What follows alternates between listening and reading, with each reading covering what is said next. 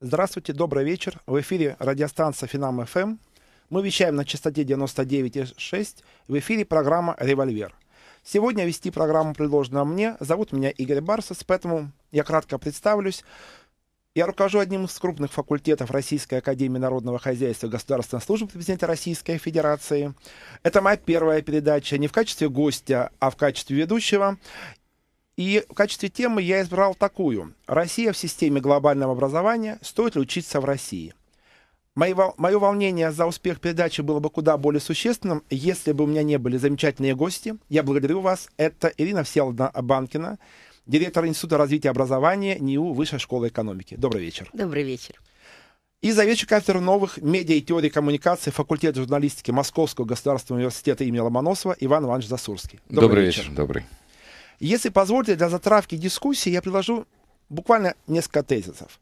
Первый. Я считаю, что России все-таки есть что предложить миру образования, что у нас замечательные образовательные школы, есть крупные университеты, которые могут предложить и фундаментальные знания, и исследовательскую практику. И все же, второй тезис. Мы, наверное, оказались не готовы к конкуренции, глобальной конкуренции, когда конкурируем не только и не столько за студента из-за рубежа, об этом, надеюсь, мы тоже поговорим, но и за своего российского абитуриента, российского студента. И третий. А, когда мы говорим об иностранных студентах, я сделаю, не знаю, может быть, красиво, может быть, нет, но такой лозунг. Почему Ильхам Алиев оказался умнее Михаила Саакашвили в взаимоотношениях с Россией? И для того, чтобы действительно эту дискуссию начать, я приведу такой пример. А, вот сентябрь все-таки месяц для каждого из нас связан с образованием, с началом такой работы, с приходом новых студентов, мы все любим. И а, когда я как декан факультета читал им лекции, я спросил практически у всех групп, думали ли они этим летом, когда они проводили его в тяжелых раздумьях, есть ли смысл учиться в России или все-таки попытать счастье в зарубежных университетах. Поэтому наша программа, наверное, так обозначено. Стоит ли учиться в России? Ирина Селдна, ваш краткий ответ. Стоит ли учиться в России? В общем, да. По крайней мере, на бакалавриата, да. Иван, ваше мнение? Слушайте, я считаю, что главное учиться, неважно где. если вы, если вы хорошо учитесь, вы в России найдете всю литературу мировую, слава богу. Все доступно. Ну и деле. контакты с любыми и контакты, и преподаватели. То есть, на самом деле, я считаю, что, знаете, как для, для людей не очень хорошо мотивированных, западная система иногда подходит лучше, потому что она более жесткая. Но для человека более творческого, одаренного, который хочет раскрыть свои способности, в России гораздо больше возможностей. Я думаю, именно на эту тему мы будем дискутировать и будем рады, если к нам присоединятся наши радиослушатели. Телефон прямого эфира, естественно, в Москве, код нашего замечательного города 495, телефон 65 10 99 и 6. Ну, вы можете также писать на сайт finam.fm, ну, либо посылать смс на номер 5533, начиная с буквы «Я». Ну, первые две цифры мне, как преподавателю, 55 нравятся. 33 — это, что называется, на усмотрение уже наших с вами слушателей. Но, тем не менее, именно такой номер для смс-сообщений. Ирина Всеволодовна, ну, спасибо за ваш краткий ответ. Но вот в чем вы видите именно преимущества и перспективы учебы именно в России? Вы оговорились на бакалавриате. Почему именно на бакалавриате науч... ну, научиться в России? Несколько причин. А, на самом деле адаптация к другой стране, к другим нормам поведения, это тоже требует усилий. И если а, наши ребята не ездили на летние школы и не попробовали опыт зарубежного обучения и общения, конечно, то освоение других вообще технологий учебы может вызвать довольно много сложностей. А, во-вторых, в конце концов, для мальчиков надо как-то проблему с армией при этом нормально решать и продумывать. То есть тут много всяких. Но дело даже не только в этом. Наши ребята довольно рано заканчивают школу. Это 17 лет всего лишь. Многие из них и так переезжают, потому что из села ребята приезжают в город. И сейчас очень заметная волна миграции вторых городов, не столичных, а вторых, которые, выбирая, выбирают скорее по качеству. И в этом смысле э, вот проблемы адаптации и возможности на самом деле выбрать довольно интересные программы и вузы у нас есть есть. Плюс к этому, честно говоря, возможности учиться, в том числе бесплатно, у нас тоже довольно широкие.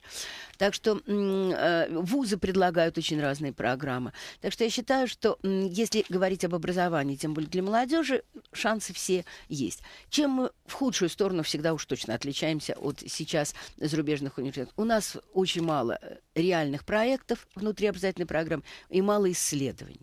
В этом смысле действительно у нас некоторое продолжение традиций, собственно, только образования. Но постепенно ребята ей овладевают, и уже действительно в бакалавриате можно думать о том, что продолжить образование можно и в летних школах в процессе обучения, очень хороших, и, конечно, потом в магистратуре. Селна, вы затронули тему, а, которая приводит к другому аспекту. Действительно, наши университеты изначально сконцентрированы только на образовании. У нас значительно да. меньше, чем в западных э, школах, в западных университетах уделяется, уделялось раньше внимание именно научным исследованиям, научным проработкам. Наверное, именно поэтому, э, когда мы говорим о рейтингах наших университетов, мы проигрываем. Это главная причина. Э, потому что по качеству образования, мне кажется, мы вполне как способны. Наша задача именно потянуть университетскую науку. Но здесь если есть объективные причины. Изначально вся советская система, в том же российская, в 90-е годы, строилась на разделении образования в университетах, наука в НИИ и в специализированных учреждениях. Поэтому я хотел бы спросить Ивана, все-таки единственный университет, который вошел в рейтинге 2012 года в 50, это Московский государственный университет, который вы представляете. Вы, конечно, представляете структуру все-таки сугубо гуманитарную, журналистику. И все-таки, как вы считаете, мы можем поднять научную составляющую в работе наших университетов? Но вы знаете, самая главная проблема в России — это коллапс научной коммуникации, в принципе. И вот те же самые рейтинги международные, нужно понимать, что они составляются все-таки в значительной степени на основе анализа данных на английском языке. И на самом деле сейчас, когда мы концентрируемся в такой степени на анализе результатов этих рейтингов, мы на самом деле тоже себе в каком-то смысле а, создаем проблемы на ровном месте — а, вернее, не совсем правильно приоритизируем то, что именно с точки зрения образования нужно делать, на мой взгляд. Потому что все-таки основной язык у нас в стране пока русский. Да. Ну, я надеюсь, и... он сохранится как наш государственный национальный язык. А, мне кажется, Или что... есть мнение? Вы знаете, мне кажется, что, судя по, тому, по тому количеству людей, у которых, в принципе, в России есть загранпаспорты, которые, в принципе, в России говорят по-английски хорошо, никакой опасности для нашего русского языка, конечно, не существует в принципе, в природе, да. Но есть проблема другая, что а, в отличие от английского языка, где у вас есть нормальная а, система научной коммуникации, русский язык с точки зрения научной коммуникации представляет собой, даже не знаю, бордель это как бы продажная, это система продажных журналов, в которых авторы платят за публикации, которые никто толком не рецензирует, которые э, выпускают подпольно какие-то странные еще дополнительные выпуски, чтобы плагиаторы могли, значит, на что-то ссылаться. Значит, по сути, это индустрия воровства такого странного, когда а, из, из, научной, из, научного, э, из научной коммуникации выводится значительная часть как бы, того, что формальной точки зрения ей является, а в действительности, конечно, не соответствует никаким стандартам.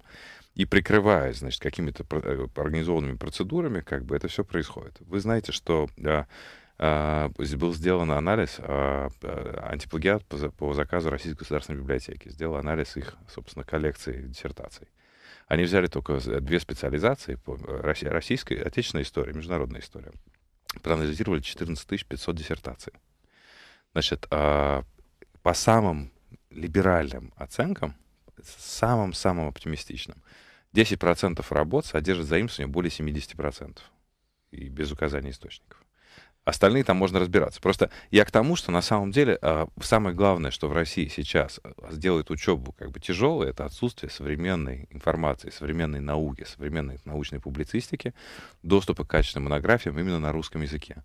И пока не будет запущен заново весь маховик научной коммуникации, пока опять не начнут люди обмениваться знаниями в, реж... в активном режиме, российская наука, российское образование не поднимет голову.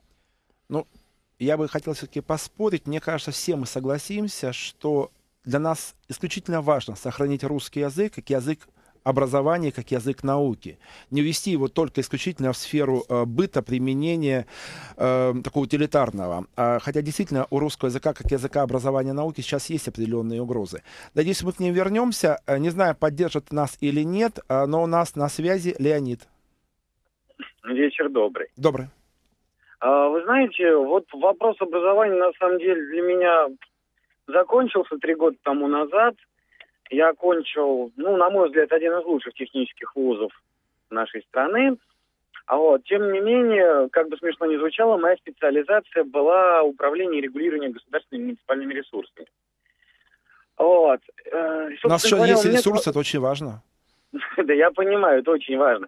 Но опять же, вы знаете, с точки зрения управленца, меня интересует такой вопрос. а, университетское это образование, это понятно. У нас много всяких научных школ. И, скажем, по поводу иностранцев а, в нашей образовательной среде, я вам могу привести в пример Тульский педагогический вуз, где на самом деле очень много иностранных студентов. А, ну, вы знаете, как бы мне только индусы попадались. Вот. Но на самом деле, на мой взгляд, э, стоит, наверное, уделить отдельный, скажем так, отдельное внимание вопросу э, профессионального образования среднеспециального, потому что, ну, насколько я знаю, насколько мне видится, в этом плане у нас просадка. У нас все хотят быть с высшим образованием, но никто не хочет быть, э, скажем так, просто специалистом. Спасибо, Леонид, за ваше мнение. Если позволите, я все-таки а, немного поерничаю. Вы допустили одну большую ошибку, сказали, что ваше образование закончилось. Никогда не останавливается образование. Образование нельзя закончить. В тот момент, когда вы прекращаете учиться, вы перестаете быть современным человеком.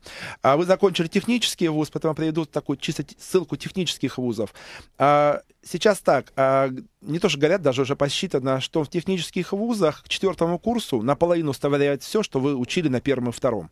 Так все быстро меняется, что Наверное, не знаю, согласятся ли коллеги, но главная задача системы образования – это заставить человека постоянно учиться. Что же касается... Ну, это и школа еще должна научить. Среднего образования, ну, это не совсем предмет нашего с вами сегодня общения, э, и все-таки может действительно идем ли мы или нет к системе всеобщего высшего образования? Ну, вообще Ирина. говоря, да, конечно, это же желание семей и самих студентов. И, в общем-то, люди рассматривают. И жизненная траектория сегодня у семей в образовании самая длинная. На 20 лет, как минимум, с дошкольного до высшего. И ничто человек так долго не планирует в своей жизни, как образование. И это уже состоявшийся факт. Ни э, карьеру, ни покупки недвижимости, ни браки, ни все остальное. А вот родившись уже свою образовательную траекторию, да. И, в общем, она, конечно, длиной во всю жизнь. Но скажите, это плохо или хорошо? Нет, это абсолютно хорошо, Нет, это современный что мы идем вызов. к всеобщему высшему образованию, общем, что у всех будут хорошо. дипломы. Конечно, конечно не хорошо. один, и меня, и профессию, и стили жизни. Для, для всего этого нужно, конечно, всегда иметь вот вы, Иван, пожалуйста. Вы знаете, я просто недавно а, открыл как бы сборник наших курсов, ну, включая журналистики. Вот вы говорите, что у нас такое журналистское, не совсем как будто серьезное. Но у нас, не, наоборот, я нас обожаю очень... журналистику, тем более мы находимся в радиостанции. Но у нас очень интересно, например, э, мне бросилось в глаза как бы кусочек о том, что освоение человеком культуры, в принципе, является также механизмом освоения человеком своего тела, своего сознания. То есть, грубо говоря, если у нас а, высшее образование будет всеобщим, это значит, что мы будем иметь дело с более образованными, более а, сведущими и осмысленными людьми. Ну, которые будут по-другому тоже Это в том случае, извините, если э, будут достойное качество в этих университетах, а не выдача дипломов. А вы знаете, вот по поводу качества я хотел сказать, что самое главное из того, что сейчас происходит, но это мое личное мнение, это то, что э, учебные работы начинают публиковаться онлайн. Вот Вышка давно это делает, а я считаю, что это для всей страны важно. Понимаете, вы единственный шанс оценить качество образования вуза, это когда вы курсовые и дипломы можете почитать. Потому что если вы этого не видите, любые рейтинги Минобрнауки, конечно, это смехотворно. Ну Он... и, конечно, вообще работа в ЛМС, когда любой преподаватель все свои занятия, лекции, результаты, разработанные вместе со студентами, выкладывает в электронной среде, этим можно пользоваться, становится всеобщим достанием, мы, конечно, Очень шагаем быстро... в общество расширяющихся образовательных ресурсов. Очень быстро распространяются такие знания. Понимаете, и... вот, вот мы сейчас говорим, что вот там где-то образование фиктивное, где-то реальное. Но если вы действительно из любого вуза можете достать библиотеку вышки, вы можете посмотреть какие-то самые ключевые наши дипломы, там, на журфаке, допустим, по новому медиа. Ну, что-то прорывное, что нигде нет больше. Но мы же это не держим, мы же готовы отдать. И тогда знания очень быстро и легко переливаются. Институт в институт, из вуза в вуз. Они могут нанять наших аспирантов, они их будут преподавать, понимаете? Ну и потом наладится самая коммуникация, которую вы говорили, как ключевой. Потому что, конечно, в этом рождаются новые и технологии, и трансферты. Технологии происходят только через коммуникацию. И новые курсы, методички. А может предметы. потому еще и стоит учиться именно в России, потому что мы учимся на русском языке, языке понятным нашим детям, Конечно. и нет необходимости входить в другую языковую среду, и через этот язык получать получать много научной, учебной, образовательной информации. Ну, я считаю, что да, но я считаю, что тоже для постдока, вот то, что вы хотели сказать, для постдока съезди куда-нибудь в Европу а, с пониманием того, как складывается твоя траектория после возвращения здесь, а, мне кажется, очень красиво и правильно. Поэтому мы, наверное, подходим к следующей части нашего общения, которая будет уже после рекламной паузы. Что делать после того, как человек закончил бакалавриат, и перед ним опять стоит тот же выбор, стоит ли учиться в России? Мы продолжаем эфир программы «Револьвер» на Финам ФМ и обсуждаем тему, стоит ли учиться в России. Если стоит, то на каких программах? И, кажется, почти все договорились, что бакалавриат лучше учиться дома, в Москве, в России, на родном русском языке. Но здесь возникает следующий момент, и я позволю себе оттолкнуться от ссылки на авторитет коллеги меня за это простят, они все уже немножко порекламировали свои вузы, мы слышали много доброго о высшей школе экономики, о Московском государственном университете. Я терпел до последнего, я тоже представляю вузовскую среду, поэтому э, сошлюсь на слова своего ректора Владимира Александровича Мау, который как-то сказал, изменить стране стало проще, чем изменить страну. Я позволю развить этот тезис э, словами, которые приводятся э, обозревателем Нью-Йорк Таймс Полом Фридманом, который пишет, что сейчас практически не важно, где вы живете. Вы можете жить в одной точке, работать в другой, получать деньги в третьей, отдыхать в четвертой, благодаря интернет-коммуникациям. Действительно, и очень интересный вывод. Это не проблема патриотизма, это проблема сравнительных издержек. Где вы получаете лучшее качество за меньшее количество средств.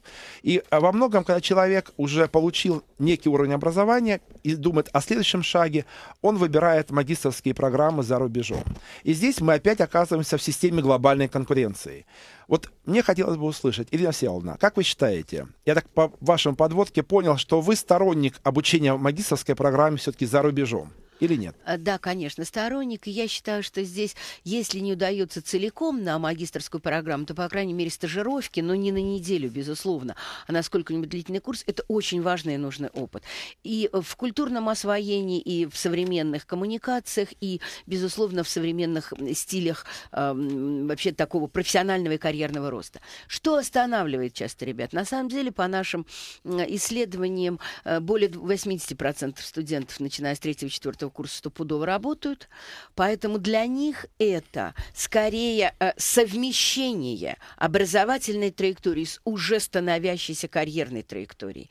Никто не сидит и не ждет, когда после четвертого курса к нему придут на его диплом работодатели и скажут, ах, мы вас так ждали. Нет, ребята начинают зарабатывать свое резюме, участвовать в проектах, в работах и понимают, что за полтора-два года работы в процессе учебы они уже могут претендовать на на те рабочие места, которые после окончания, вообще говоря, э, хорош. Поэтому вот здесь вот это почти во всех случаях сопряжение работы, предпочтений, карьеры и учебы. И очень многие просят и в расписании их поставить на какую-нибудь половину дня, чтобы во вторую работать. Поэтому сегодня сказать, что есть отдельно для молодежи э, траектория «учусь и учусь и учусь и больше ничего», это не так. Конечно, это и работа, и учеба, и проекты, и м, разного рода дополнительные короткие программы. Поэтому э, в этой траектории траектории, мне кажется, что э, зарубежный и опыт и стажировки и обучения очень много дает. Он очень расширяет пространство э, возможностей и э, мировоззрения самого человека. Спасибо. Э, Кстати, деньги на это всегда можно найти. Очень много стран, в том числе и мы даем разные гранты. Это вопрос не денег, это вопрос действительно выбора и э, ответственности за этот выбор. Да, Иван, дополните. Да, вы знаете, я просто хотел сказать, что для меня вот несколько было разных эпизодов, когда я сам оказался за границей. Я преподавал в Америке э, несколько месяцев. И я сидел в разных библиотеках по разным самым предлогам, в Швейцарии и других местах. Я должен сказать, что, конечно, ничто с этим не сравнится. Ничто так не раскрывает кругозор человека, как попадание в другую языковую среду, где те же самые предметы, те же самые интересы исследуют совершенно другие люди на другом языке, и из каких-то других точек зрения. Вы знаете, в принципе считается, что наука началась с мусиона в Александрийской библиотеке, а смысл музеона был в том, что там э, сравнивали рукописи на разных языках и сделанные разными авторами, и анализировали тексты через другие тексты, понимаете? То есть на самом деле для самой науки центральным является именно возможность сравнения. Если вы находитесь в рамках одной традиции, вы можете быть специалистом, но вы не всегда вообще имеете представление о науке. Спасибо, абсолютно согласен. А, я не зря озвучивал в начале передачи телефон студии 65 10 99 и 6. Насколько знаю, есть звонки. Хотя не уверен, кто все-таки дождался наши такие э, умные монологи и диалоги. Добрый вечер. Добрый вечер. А, меня зовут Игорь, а вас? Э, меня зовут Сергей. Здравствуйте, уважаемая радиостанция. Здравствуйте, уважаемые гости. На своем примере коротко хочу а, прокомментировать тезис о том, что магистра лучше получать за рубежом. А, сразу скажу, что считаю, что и, и бакалавра лучше а, получать за рубежом по одной простой причине. а, у нас настолько далека наука от образования, это совершенно два разных понятия. Я в свое время закончил Российский университет дружбы народов, и к моему величайшему сожалению, я учился на вечернем тогда, а, университет мне не дал ничего, ровным счетом. А какой из них, э, в качестве рекламы, дайте нам, какой университет ничего Какой- вам не дал? Какой факультет? РУДН. РУДН. А какой факультет? Я уже сказал, РУДН, экономический факультет, он там достаточно сильный, специальность управления. Я сразу каюсь, хочу сказать, что до этого я уже работал в сфере управления и менеджмента, такой молодой специалист. Сейчас Вам к 30 нужна была годам- бизнес-школа, конечно, какая-то. А, абсолютно. У нас абсолютно отсутствует а, возможность попробовать это. То есть э, совершенно прекрасная теория, замечательные профессора. Я могу долго рассказывать о том, как, какое замечательное образование у нас, но оно в книгах, вы понимаете, ничего а, более э, фундаментального получить, наверное, нельзя. Но э, отсутствует, э, отсутствует возможность пробы на практике. И вот сейчас я нацелился на магистра, я хочу ехать в Канаду. А, Почему? Потому что просто просматривая список возможных факультативов, дополнительных занятий, возможностей, это просто небо и земля. А, И тут дело даже не в том, что у нас там закрытая страна, что-то не котируется, нет. Просто качество и возможности, которые предоставляют те заграничные вузы, пусть даже европейские, оно несоизмеримо. И вот я советую задаться вопросом, а, почему а, российские профессора достаточно э, хорошо пользуются популярностью в западных вузах, а вот российские студенты не очень. Ну, не зовут нашего брата туда, только по особым программам. Так, это подождите, так вы, если вы платите, вы можете спокойно там учиться? В чем проблема? Э, совершенно точно, но у меня есть возможность, у меня есть средства, у меня есть деньги. А вот человек с бюджетного... а, А человек с бюджетного это, к сожалению, Российская Федерация, потому что это Российской Федерации гражданин. Так, а почему другие А, государства должны содержать наших Ну, я э, тоже не знаю нареканий к студентам. Очень многие студенты спокойно справляются с программами. Да, есть особенности. У нас э, очень плохо умеют работать в коллективах, в малых группах, но не научили этому. А в индивидуальной работе наши студенты не А уступают. можно вопрос к западным. нашему слушателю, Да, если вы не отключили? Ска- Скажите, пожалуйста, а вы, вы, вы по- после, вы после этой программы, вы куда дальше хотите? Вы хотите там остаться или вернуться?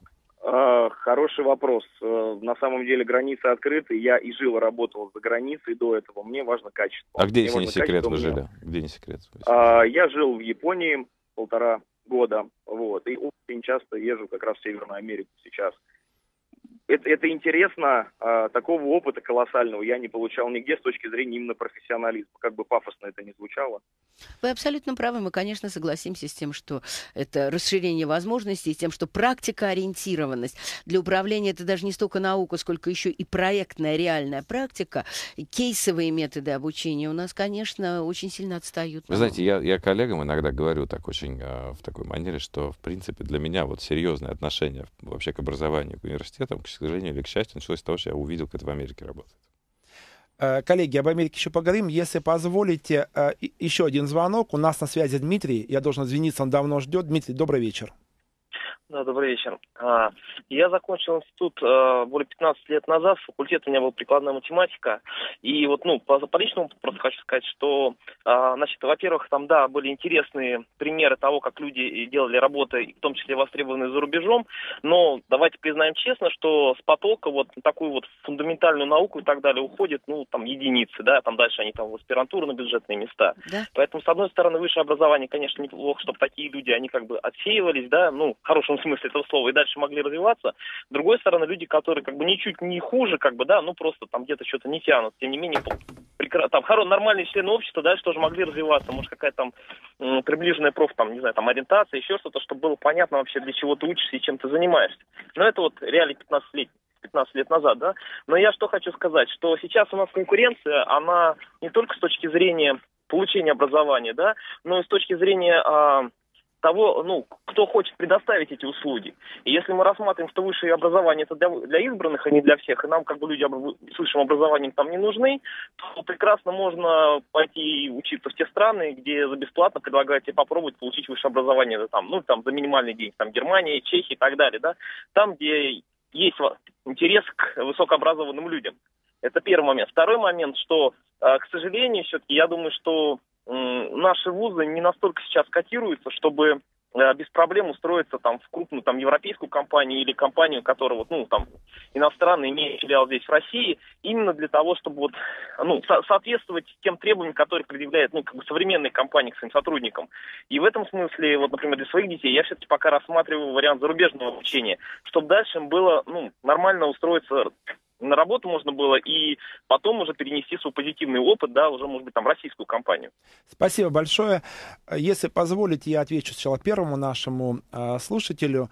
Э, немножко так может быть, обидно, а, но мне вспоминаются слова из незабвенного Венечки Ерофеева, когда он как-то озадачился по утру, любят ли нас за Пиренеями. Ответ был, любят, потому что не знают. На самом деле к нам относятся так, как мы себя ведем. Если э, наш парень, наша девушка приезжает и нормально себя ведет в любом университете, к нему замечательно относятся. Я бы не сказал, что этот поиск какого-то негатива, что нас не любят только потому, что мы из России, э, чем-то оправдан. Э, Наверное, тех, кого мы направляем, мы должны учить и объяснять, как себя вести в иносреде, как вести себя так, чтобы помнить, кто мы такие, но в то же время не быть чужеродными и не вызывать усмешек.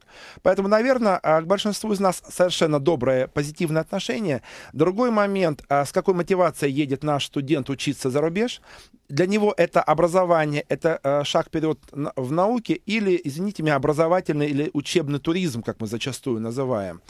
Поэтому здесь, наверное, нужно быть просто честными самими собой. И второй момент. Мы вот нащупали некие, мне кажется, такие уже болевые точки, даже развилки, когда критикуем свою систему образования, что нам не хватает, с одной стороны, научности, научных школ, научной основы, а с другой стороны, мы говорим, нам не хватает практикоориентированности. Конечно. Может быть, это все-таки несовместимые между собой понятия, или здесь можно найти некое Соломоново решение? Ирина Всеволодовна. Нет, конечно, очень даже совместимы. Просто наши обязательные технологии были заточены под трансляцию. Трансляцию знаний, пересказ чужих учебников, когда-то давно написанных. Это совсем не деятельностный, хотя у нас такие столпы, Выгодский, Гальперин, э, там, Ильконин, Давыдов и так далее, именно в деятельностной педагогике. На самом деле мы, конечно, очень отстали и были вот такими просто трансляторами знаний. Да еще с отметками и там контрольными всякими. А вот перевернуть это э, в такой деятельность подход, неважно, это научные исследования и проекты, или это социальные практики, или это реальная в том числе работа в процессе обучения, я говорю, индивидуальная в малых группах вместе с преподавателем. Вот этого у нас э, не хватает, и для этого нам надо самим себе, преподавателям в первую очередь, меняться, формировать коллектив, коллективы такие, которые в состоянии это делать, и которые могут передавать и транслировать в том числе и свои разработки, свой опыт, и добывать новые знания вместе со своими студентами. Спасибо. У нас на линии один очень терпеливый слушатель. Рустам, добрый вечер. Здравствуйте. Вот. А ну-то немножко себе. Я человек с двумя высшими образованиями, медицинское и юридическое. Там преподавателем на факультете усовершенствования врачей в Москве. Вот. Ну вот э, по моему опыту, вот и то, что я сейчас наблюдаю, вот, у меня такое ощущение, что у нас э, высшее образование, ну, наверное, как-то не то, что деградирует, а все меньше соответствует э, действительно, ну, потребности, которые предъявляют к нему. Э, потому что многие люди уже и заканчивают высшие учебные заведения, но при этом э, не работают по специальности, диплому, они используют в лучшем случае как Э, свое преимущество для устройства на работу. Наверное, мое мнение такие. Рустам, если позволите, вот э, несколько такая выжимка из вашего мнения, что помимо научности и практикоориентированности у нас слабая взаимосвязь между системой образования и рынком труда. То есть мы ну, готовим невостребованных да. специалистов. Не... Да. Э, наверное, это, наверное, это так э, более точно сказать. Вот, ну, сам, когда был преподавателем, я, в принципе, и, и ушел из того, то, что такого вот бардак по образовательным программам, по образованию а, творил. Ну, не удерживал. Не, а вот в чем, я выражусь более, надеюсь, культурно, неразбериха в образовании, в образовательных программах, как вам кажется? Ну, какие-то материалы устарелые. А, если по медицине брать, ну, есть подозрения, скажем так, э, и некоторых профессоров, которые даже пишут учебники. Да, мы вот каких-то депутатов, губернаторов за это дело ловим. Э, потом э, также э, не соответствует тому, что преподают, и тому, что требуется. Да? То есть, опять же, по медицине, например, когда говорят, как надо лечить, а у нас контролируют страховые компании, которые ну, контролируют нас по утвержденным стандартам, которые мы, например, не знали, ну, как студенты. А скажите, Вот, э, это проблема нового времени или когда-то было лучше или хуже? Вот у Э, нас всегда любят сказать, вы знаете, вот в Советском времени. Союзе было хорошо. А, Я не говорю, что в Советском Союзе было хорошо, но поскольку тут уже упомянулось, что студенты третьему и четвертому курсу работали, и они шли работать как бы, ну, близко к своей специальности на будущее место. да. Сейчас, э, например, э, приказу уже, вот, например, по медицине, нужно иметь сертификат специалиста. То есть студент уже так просто, он не пойдет работать медсестрой или фельдшером, а, потому что у него нет сертификата. Даже Мало того, он получит ди- диплом Спасибо. медицины врача, да, он не пойдет работать, потому что его никто не возьмет, у него нет сертификата фельдшера или врача скорой помощи, например. Он не сможет работать. Пойдет работать в Макдональдс, а не врачом, например. Вопрос, Спасибо. нужно такое образование? Всё, Э, если- спасибо большое. Если позволите еще звонок, у нас на связи Сергей. Да, здравствуйте. Добрый вечер. А, К сожалению, тоже у меня осталось не очень хорошее впечатление о российском образовании, вот нынешнем российском образовании. Сам я заканчивал, э, получал юридическое образование в 90-м году, потом в 97-м у меня были курсы повышения квалификации, э, но заканчивал я как юрист.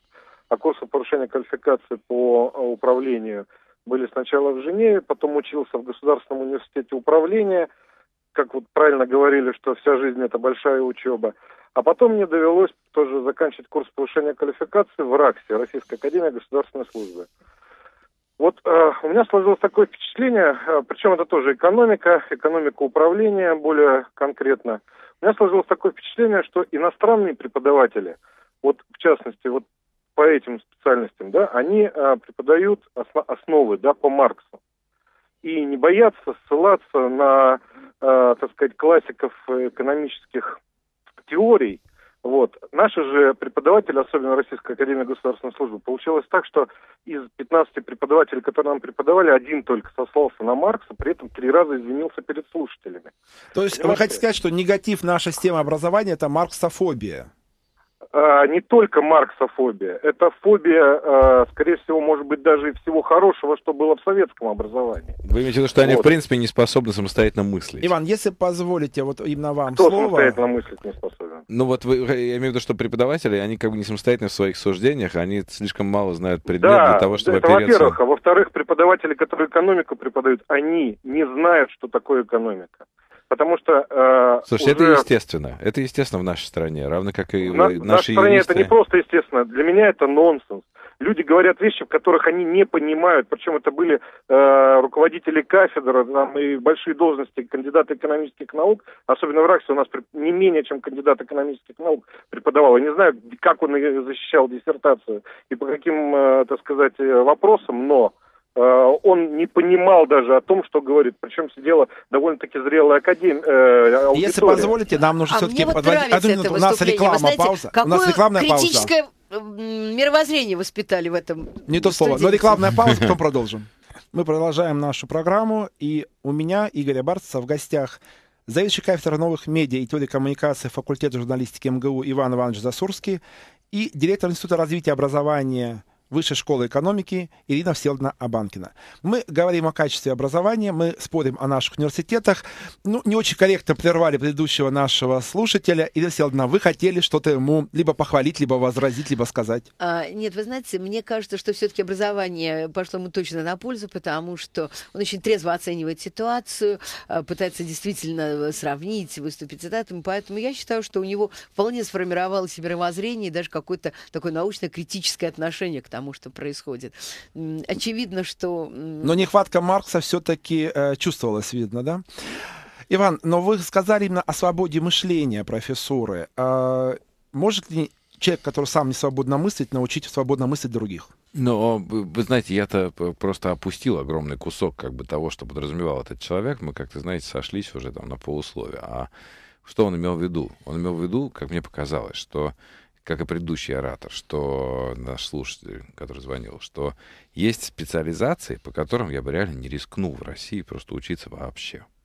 Например, Экономика, юриспруденция. Я считаю, что, в принципе, это как бы очень мало шансов, что тебя чему-то научат, особенно если это не один-два каких-то светоча, Ну, тут такие выпады Ну, в с высшую школу юриспруденцией экономики. особенно спорно, нет. Понимаете, как э, принципиально отличается юридическое образование за рубежом? Нет, ну просто это-.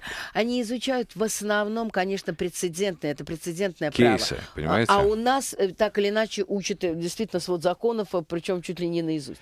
Это И действительно при этом эти законы очень сильно и- меняются. Они не всегда, как бы, поскольку они, поскольку их учат не принципам, не каким-то основам, как бы там классических теорий, а их как бы действительно загоняют больше в понимание того, что есть сейчас, значит, что они не в курсе, оказывается, не тех изменений, которые происходят, и при этом они не умеют работать как практики. Вот, например, классическая самая претензия по экономике, она так и звучит. Я отучилась на экономическом факультете, пошла, хотела идти работать директором, выяснилось, что я не знаю вообще ничего, как делается. Потому что кормили какими-то... Ну, э, знаете что, чтобы работать теориями. директором эконом- э, экономический И вот- факультет не обязательно заканчивать. Вот я как раз, я как раз хотел сказать, что... Экономика это, в общем-то, сплошная математика. Ну, вы знаете, я не согласен. Дело вот в чем, что для- если бы экономика была сплошной Учитесь бизнесу, математикой, это другое. в- А это- экономика это сплошная математика. а не надо делать столько экономических факультетов, потому что для того, чтобы иметь академическую науку об Согласна, экономике, давайте назовем, необходимо... назовем их бизнес и Э, менеджмент. Да, понимаете, а вот дальше, если это бизнес и менеджмент, то тогда уже вот эта махинация с учебной программой, которая там, для, для любого провинциального вуза с экономической специализацией является нормой, а именно, что выпускают как бы экономистов, которые как практики ничего не стоят, потому что им читали теорию, а теорию им стеснялись читать полную, потому что Маркс вроде как не модно, а читали Ну, им какой-то кусок. Адама Смита, там то все, Ой, да пятое, вы что, ну, десятое. Адам Смит уж никто не Ну, а, а- а может быть, стоило бы? Я имею в виду, что...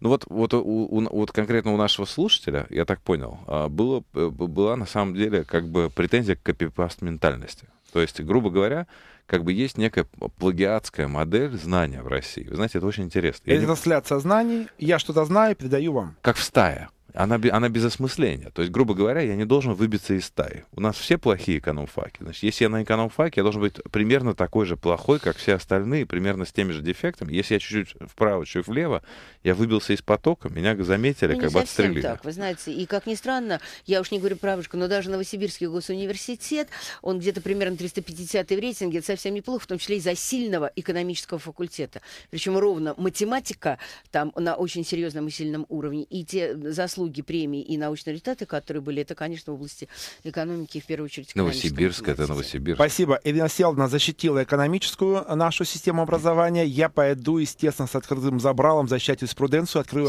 ог- огромный секрет. Я все-таки доктор юридических наук и преподаю право. А, Но здесь есть э, другой момент. Сначала про право. Я действительно э, считаю, что нельзя учить чужое право, потому что мы Да. работаем в своем. И эм, наверное, главная проблема юридического образования, что все, все страны, все учат свое национальное право.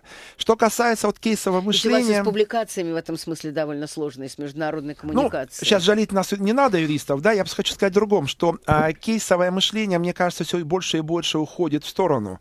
А, кейсовое мышление хорошо именно для бизнес-школ, для программ в области менеджмента. Изучить право или изучить экономику на кейсовом мышлении, на мой взгляд, невозможно. Вам нужно сочетание.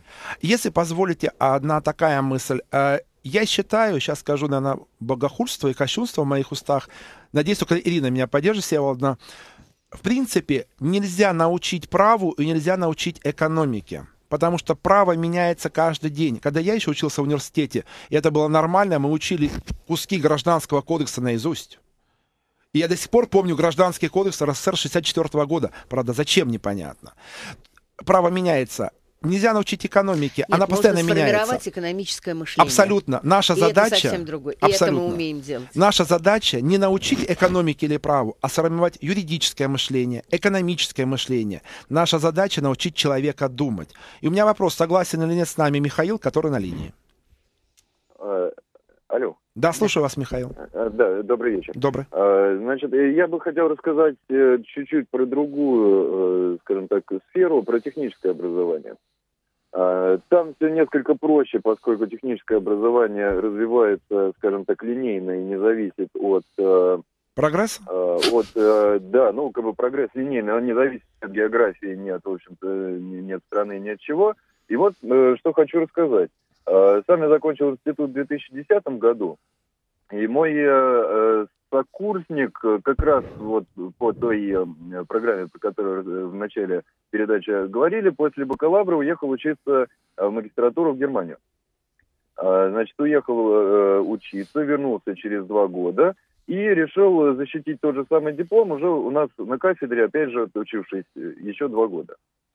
А, и надо сказать, что тот же самый диплом, который он с легкостью он отлично защитил э, в Германии, в России ему удалось защитить с трудом.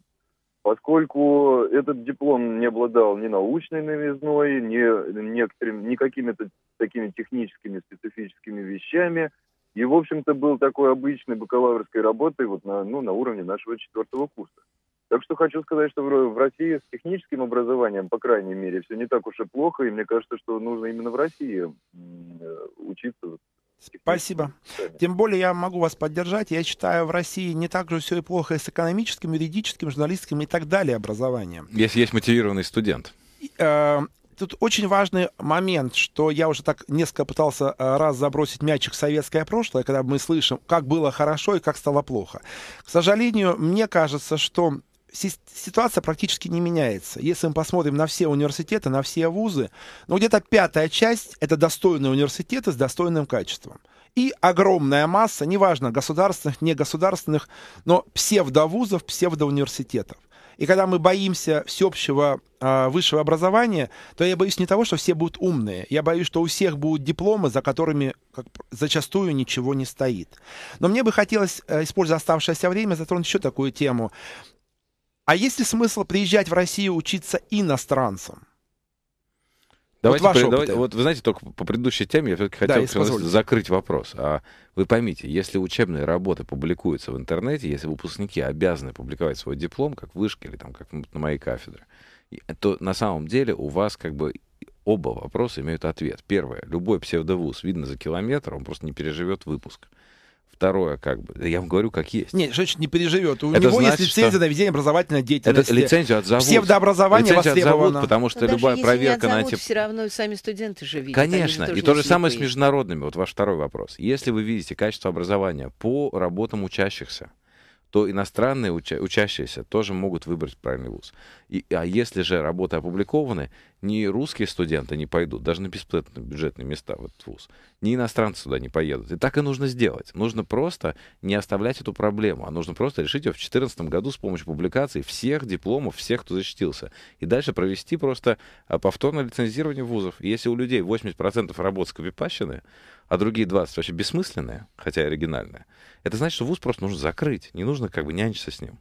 А может быть, э, Кстати, не быть... плохих и слабых вузов э, с очень разными программами в любой стране очень много. Это общая Топовых практика. университетов действительно немного. Ну, пускай они хотя бы реорганизуются, и тот, который был совсем как бы глупый, воровской, бессмысленный, пускай он превратится в какой-то чуть более осмысленный, стремящийся. А может быть, все-таки быть более свободными и оставить это на усмотрение абитуриента и работодателя? А, а если вы хотите Для оставить... Для этого нужны хорошие навигаторы. Кон- Нужна конечно. прозрачность, о которой Иван говорит абсолютно правильно. А если, понимаете, что а сейчас, сейчас мы происходит? все в темную Сейчас работу, Министерство образования и науки на полном серьезе вырабатывает рейтинг, э, сколько квадратных метров там на учащегося. И это считается реальный критерий. Мархи записали в плохие вузы. Ну, это у него ж... средний возраст преподавателя тоже за 70. Не, ну, простите, пожалуйста, И вообще но Мархи... Мархи отстает очень сильно. Ну, слушайте, может, он отстает, но я всегда человек, знаете, я узнаю людей из нескольких вузов. Вот я пытался все-таки а, избегать названий конкретных вузов, а, поэтому, если позволите, Антон, и Антон, э, я все-таки пытаюсь свести разговор, а есть ли смысл приезжать иностранцу учиться в России? Но вы-то по имени наш, российский, видно, парень, и тем не менее. Добрый вечер.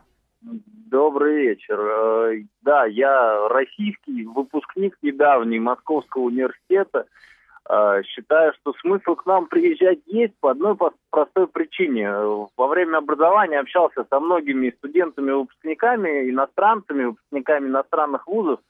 Э, не учат там так думать, как у нас. Я полностью с вами согласен, что экономики и юриспруденции нельзя научить, как науке, потому что можно именно дать мышление, чему, собственно, меня и учили 6 лет в Московском университете на экономическом факультете.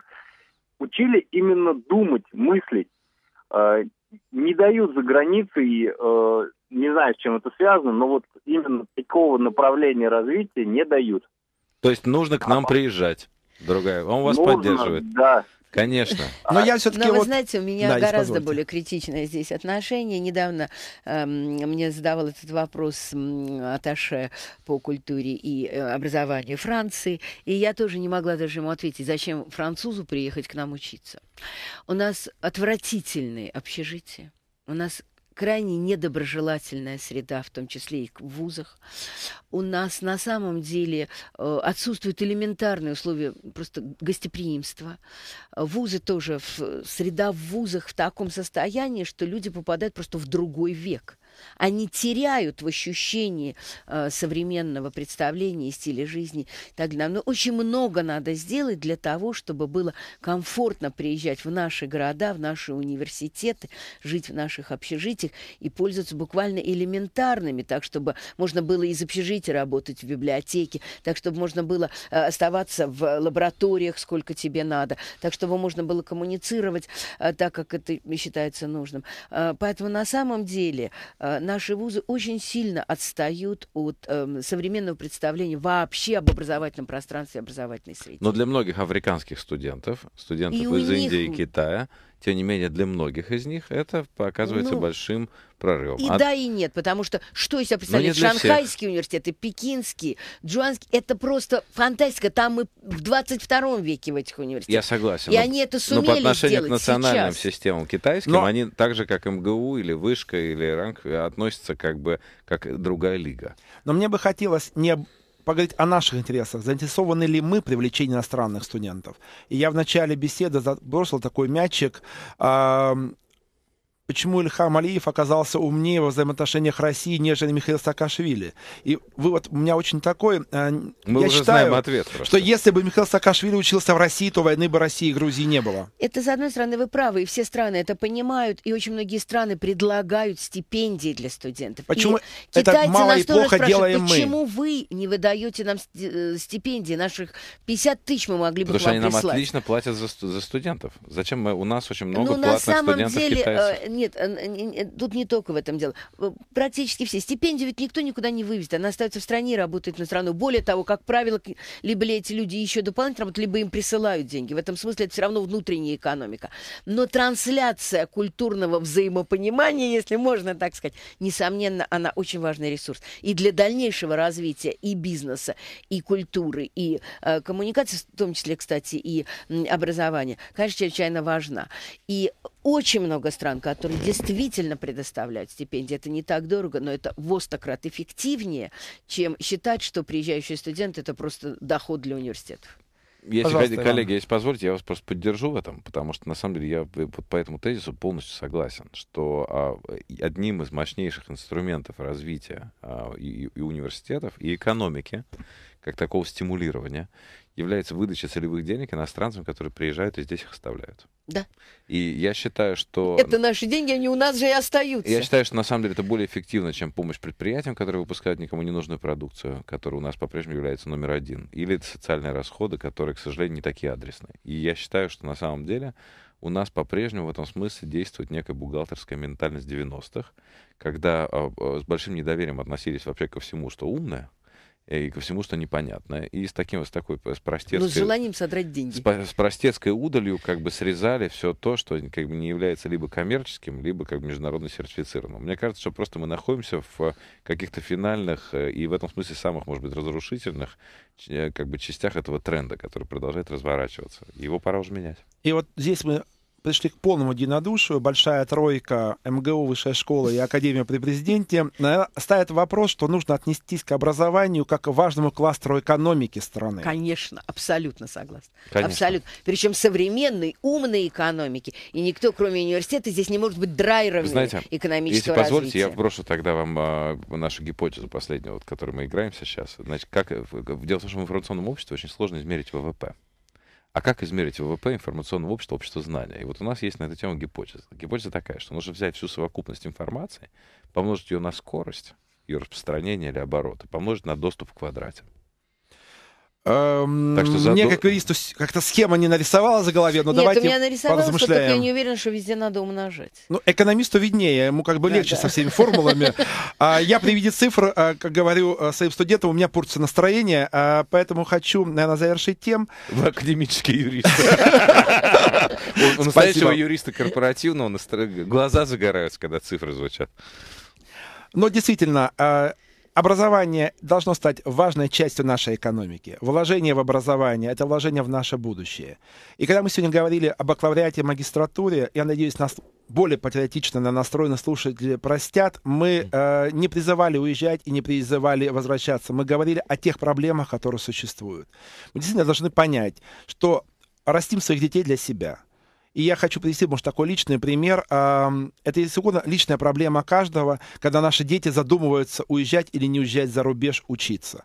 Нам нужно дать им возможность учиться в России, получить достойное качественное образование. Мы должны дать им возможность поучиться в мире, посмотреть на другие страны, приобщиться к другой культуре, если угодно, пообтесаться, приспособиться с тем, чтобы принести свои знания, свой опыт, опять-таки, к нам в страну, в Россию, и сделать ее немного лучше. Если каждый из наших детей, из нас сделает страну умнее, красивее, достойнее, мне кажется, мы сможем четко сказать – в России стоит учиться, в России стоит получать образование. Я надеюсь, со мной согласятся мои гости. Ирина Селдна Банкина, директор Института развития образования Высшей школы экономики, Иван Иванович Засурский, заведующий кафедрой новых медиа и теории коммуникаций, факультет журналистики МГУ. Спасибо, с вами был я, Игорь Барсец. До встречи в эфире.